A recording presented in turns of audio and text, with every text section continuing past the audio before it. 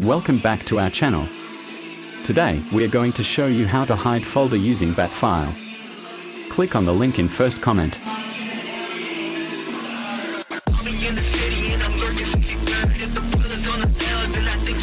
Download it.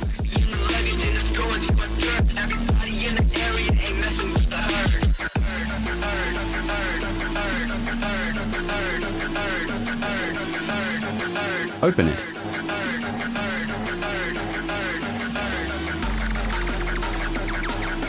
In here type your password.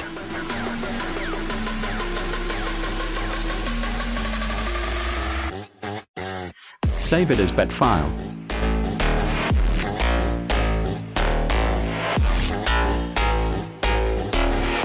Open it. It will open a private folder and put your secret files on it.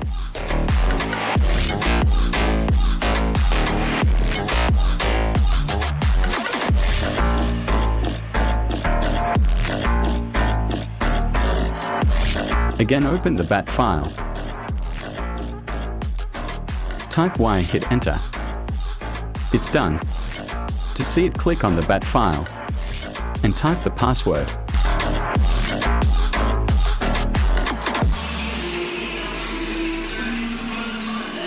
Done. Thanks for watching and make sure to subscribe and like the video.